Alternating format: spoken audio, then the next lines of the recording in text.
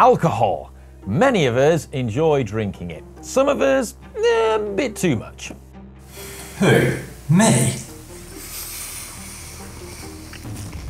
Athletes will often abstain from alcohol entirely in a bid to maximise their performance. But why is this the case? I mean, how bad is it? And is it all bad? You know, what are the effects of drinking alcohol on cycling performance and fitness in general? Well, it's time for some GCN Does Science.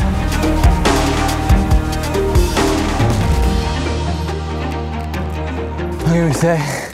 And yes, I am an absolute genius. I've finally worked out a way that I can justify drinking on the job. Taken me a while. We can assess the physiological impact of alcohol on our bodies using wearable tech. Many top athletes, including Tour de France champion Tadej Pogacar, wear a Whoop band to track how things such as alcohol affect their performance and recovery, and that is what we're going to use for our experiment. But to understand more, let's delve into the chemistry and biology of what happens when you drink booze. First, let's have a poll. We want to know how much do you drink? Are you teetotal? Once a month? Once a week? Every other day? Or every day? Uh, click down there and you can vote. Alcohol, specifically ethanol, is an incredibly simple molecule with an extraordinarily complicated array of effects. And archaeological evidence suggests that human beings have been consuming alcohol as far back as 7000 BC in China, and even further back than that, as much as 200 1000 BC, it's widely believed that Homo sapiens were consuming fermented fruits. And many of you enjoy a drink of alcohol, and like many of you, I enjoy a cheeky libation here and there. But we're told that if we want to be healthy, we should abstain from alcohol. So let's begin with some science. We first need to understand the chemistry and biology of what happens when you consume alcohol. Now, alcoholic drinks, such as this rather nice Rioja I'm going to enjoy in a minute, contain one very specific alcohol, ethanol, and this is its chemical structure. It's made up of carbon, hydrogen, and oxygen. You can see it has two carbon atoms, and this OH part of the molecule, that is the alcohol group. Now, if we remove one of those carbon atoms, we get a compound called methanol, still an alcohol, but this one's really toxic. In fact, if you drink it, you'll go blind. That's because when your body consumes it, it breaks it down first into formaldehyde, and this then gets oxidized in your blood to formic acid, which eats away at your optic nerve. Yeah, bad news. So, from here in, when I refer to alcohol, I'm talking specifically about ethanol. Now, although the alcohol we drink doesn't get broken down into formic acid and send us blind, it still gets metabolized into some pretty bad shit. Now, when you first drink it, some of it gets broken down and digested by the stomach, but the majority is digested and broken down and metabolized by the liver. And this is done mainly by an enzyme called alcohol dehydrogenase, which breaks down the ethanol and turns it into a compound called acetaldehyde. Acetaldehyde is nasty. I once accidentally caught a whiff of an open bottle of the stuff in a chemistry lab several years ago, and I had to immediately sit down to recover. It's irritant, harmful, and may cause cancer. Lovely. And when you experience a hangover, the main culprit behind the symptoms you feel is poisoning by acetaldehyde, but it does also affect the body in a number of other ways. For example, it inhibits production of testosterone, a key hormone in growth and repair. Fortunately, the body comes to the rescue and produces another enzyme called aldehyde dehydrogenase, which breaks down the nasty acetaldehyde into acetic acid, which you may more commonly know as vinegar. Acetic acid or vinegar can be excreted, it comes out in your wee, or it can be used to form fatty acids, or further broken down into carbon dioxide and water, which are gases and you breathe them out. And if I were a betting man, I'd, I'd wager that Mr. Daniel Lloyd is very good at producing aldehyde dehydrogenase. And that's the interesting thing. Our response to alcohol is all highly individual. Some people can tolerate and break down alcohol much better than others. And this depends on a whole host of factors from your age, your sex, and your genes. Now, I'm not an elite athlete by any stretch of the imagination, but I'm still keen, like many of you, to find out how alcohol affects my body. So, it's time for some experiments. And yes, I've, I've managed to rope in some of my fellow GCN presenters to do this as well. Now, before we can establish the effects of alcohol, we need to establish what our bodies can do when we've not had any, a baseline. So to do this, we've come to a local climb of ours near where we live, and we're going to ride it as a kind of fitness test. We're going to measure power, heart rate, and we've also weighed ourselves this morning as well. Joined by Hank and Connor, and we're at the bottom of the Col de Banner Down, one of our local favourite climbs, and we're going to ride up it as hard as we can as a fitness. Are you, you feeling good, sprightly? Yeah, mate, I am feeling fresh and amazing. Me too. Yeah, had a good night's sleep, uh, feeling sprightly, feeling energetic. Yep, we've got power meters on, we've got the whoops on. Right, let's let's hit it, boys. It's a long climb, this Hank. Don't get too hard from the start.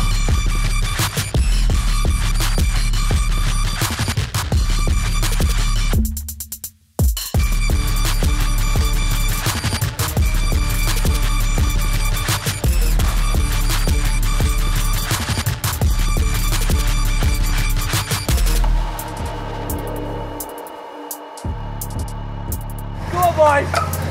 Dig in. Last little bit. Come on. Head back up. Come on.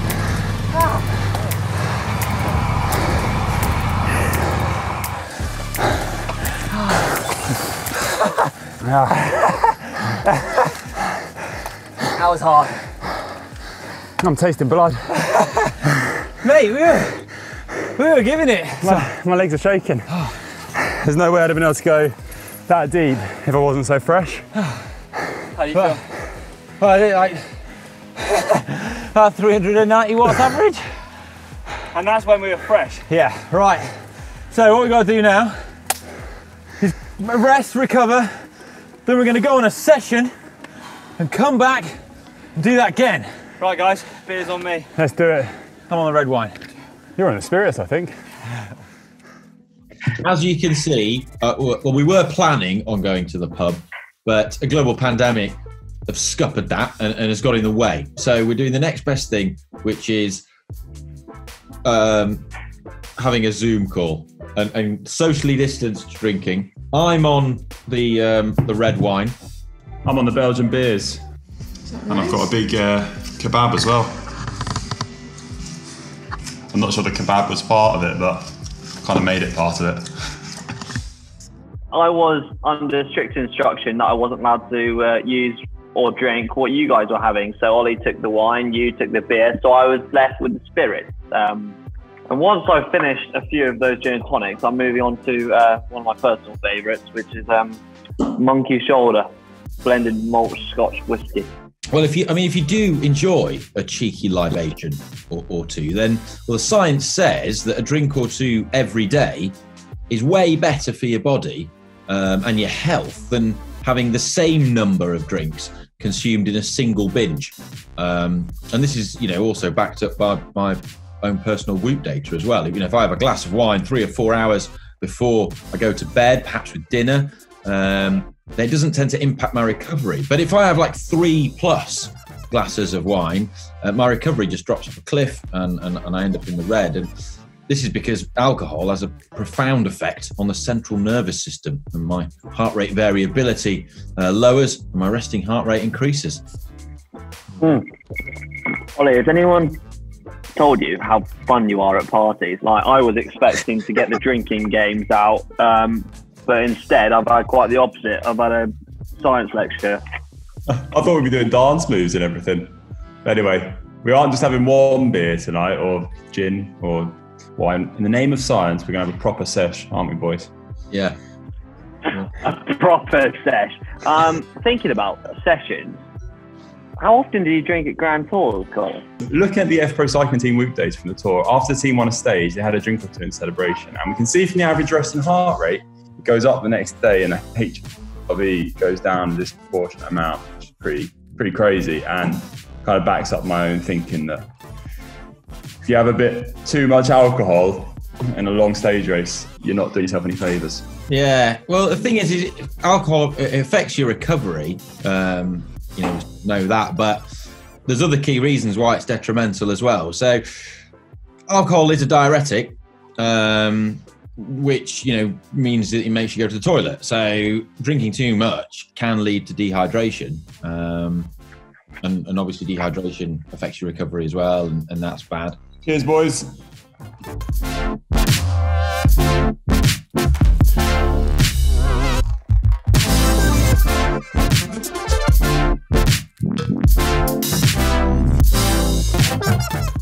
Well, a, a bottle and a half of wine later. I'm. I don't know about you boys. I'm feeling it. Yeah, I don't want. I don't know what to say. I'm. It's definitely gone straight to my head. We're going to reconvene tomorrow morning, the bottom Yeah. of Banner Down. See you guys tomorrow morning. I, Yeah. I'll if I there. don't make it, guys, just leave me a lot of voice messages. Mm. Yeah, I'll put my phone Cheers. on the lap. Cheers, Fine, mate. That's nice. Nice wine. Cheers, everyone. Right. Bye. Good evening. See Keep in the morning. drinking. Adios. Morning. I feel rough. Um, got a bit of a headache, predictably, and uh, yeah, this effort's going to be interesting. Um, I just checked my Whoop score as well, and uh, it's rubbish. Got the worst recovery score ever, like twelve percent. I, I've, ne- I I've never seen one that bad for me. Um, and like my resting heart rate was sixty-five beats per minute last night. It's normally in when I'm asleep, like in the 40s, sometimes 30s. So it just shows you like the kind of effect it's having. Um, but I guess yeah, I just need to go and see what if it actually affects my cycling performance. I mean, I'm predicting it will, but who knows? Might not. Let's go find out. Oh god, this is going to be fun. Right, so here we are after our after the night before. How are you feeling? Yeah. Uh, ro- ropey. I've got a slight headache, but I don't reckon I'm feeling as bad as you two. you seem to go on a bit longer. That's like because we actually drank. Yeah, I'm, I'm nervous of Hank's kind of. I think we're blagging it a bit. Yeah, I think he was faking. What was what's your recovery score? So I was 24% recovery. My HRV was well down, so Yeah. 82. Resting heart rate was up to 50. Yeah. And I just feel generally pretty rubbish. Yeah, I got like the duration of my sleep was actually pretty good, but mm. I didn't recover. Like the quality of the sleep was rubbish, and yeah, my recovery score was like twelve percent. Twelve percent. Oh, Did I win that. Yeah, my recovery score was forty-five percent. Definitely didn't drink. Definitely fake. Right. Well, My and uh, my sleep was pretty good. I went to sleep in about three minutes and um, uh, Passed out. I slept for eight hours. Yeah. Who's right. going first? Are you ready? Should, I think we should rock Shotgun paper knock. scissor it. I'll go. I'll go Should we rock first. paper scissor it? No, I'll go first. I want to get warm. He got, he got us into this mess. yeah, you can start. Before I do my second effort, I should point out that we're not overly concerned about the overall time of the effort. That's because things like the weather conditions mean that it could be quite different. What we're more bothered about is looking at the power data and the heart rate data and seeing how that differs when we're in a hungover state. Uh, I should also point out that when we rode up the first time, we kind of raced up together, and this time we're going to do it one at a time just to try and socially distance uh, due to changing situation with regards to COVID. So I'm going to go first, and uh, well, wish me luck. I feel horrendous. Three, two, one.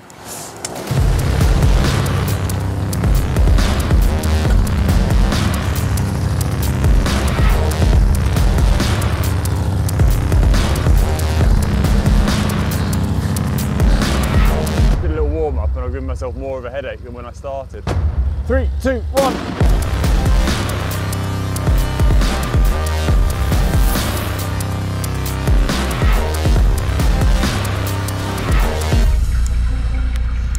Am I ready for it? Absolutely not.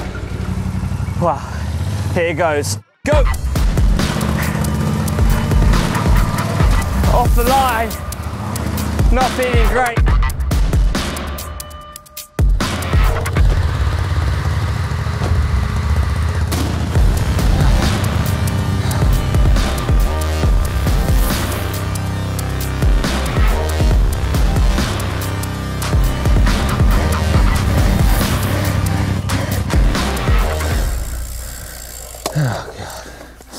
That was awful. That was really awful. Try not to throw up. Do you say?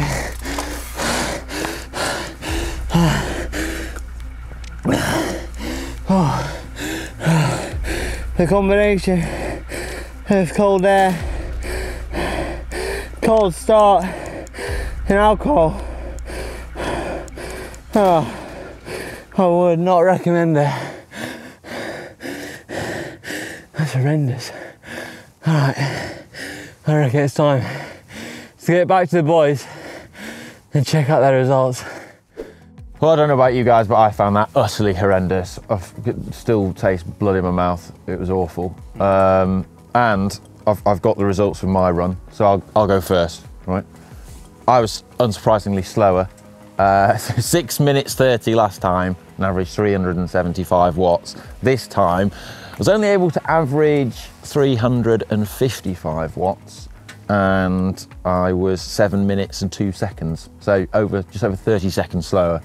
Not a bad result there, has to be said. So, like Ollie said before, we came up at, in 6 minutes 30. I averaged 380 watts. This time was slower again. Yeah, so I did it in 6 minutes and 50 seconds with an average wattage of 365. Yeah, and I'm actually the same. I was a bit slower too, but not as much as I thought I was. Um, I actually felt okay. I mean, I say okay, I was feeling pretty rough, but I still was able to kind of put down the power in the legs and I was functioning. Um, so I did 6 minutes 42, 12 seconds slower. My power was 6 watts less, so I did 480 watts average. Um, and my heart rate was 170 beats a minute average, so 6 6 beats a minute So it less. shows on you average. should drink more often, Connor. Not too bad, that. my, my heart rate, As soon as you say about heart rate, my heart rate was higher on this effort. Really? Yeah. So I, I was about 170 beats per minute last time, and I was like 175 beats per minute this time. Yeah, I was higher as well. I maxed out at 190, an average 176, I think it was. Yeah. Well, there you have it. Our rather unscientific experiment shows that, uh, well, if you go out on the lash, you'll probably be slower when you ride your bike the next day. Keep on the aqua. We've just done a short effort here, but consuming alcohol can seriously affect your endurance too. Alcohol has a negative effect on the water balance in your cells and inhibits gluconeogenesis, a process in which the sugar glucose is formed. Now, it prevents these cells from performing their natural function of producing a compound known as adenosine triphosphate, or ATP, which is the energy your muscles need to contract. If your ATP levels go down, then so will your endurance. And longer term, if you're constantly diminishing your body's ability to perform and recover on a regular basis, this will have a huge impact on your performance. And that considered, if it was my job to try and win the Tour de France, I'd probably abstain from booze entirely. But is it all bad? Well, according to the science, no, it might not be entirely bad. Of course, anything is bad in excess, as mantras for life go. That's a pretty good one. And I just spent an entire afternoon reading an extensive and impenetrable journal article that described over 50 neural pathways in which alcohol affects our bodies. And after reading it, I felt like I need to sit down and a drink because, well, that's understandable. Alcohol temporarily relieves stress, and many people use it for that exact purpose. And it does this by increasing uptake of a neurotransmitter called GABA. No, not that kind of GABA. GABA is the brain's primary inhibitory molecule, and drinking for many people is pleasurable, and the enjoyment and social interaction that people gain from drinking cannot be ignored. Happy athletes are fast athletes. And in small amounts, alcohol can also help lower your blood pressure too. But can you stop showing pictures of a Castelli Gabba? Not, not that Gabba. God's sake. And if you are going to drink, then there's increasing evidence that red wine is the way to go. This is because red wine contains a whole cocktail of compounds which can be beneficial to your gut microbes, namely things like polyphenols and resveratrol. And your microbiome loves these compounds. In fact, it's been shown that the microbiomes of red wine drinkers are healthier and more diverse than in non red wine drinkers. And a more diverse, healthier microbiome is known to be one of the best markers we have for long term health. Unfortunately, the same can't be said for white wine drinkers or beer drinkers or spirit drinkers. Sorry if that's your poison. Right. Glad that's over. Yeah. I think I need a few months break from drinking now. Yeah, let's not do any more party Zoom calls, hey? Yeah. We hope you've enjoyed this video and found it interesting. And this is a massive and very complex topic, so I hope you appreciate my attempts to uh, distill it down. Well, anyway, if you enjoy this kind of science content, then please give this video a thumbs up and subscribe to GCN if you haven't already to help us produce more of it in the future. It really helps support the channel. And uh, yeah, I'll see you in the next one. Cheers. Bye.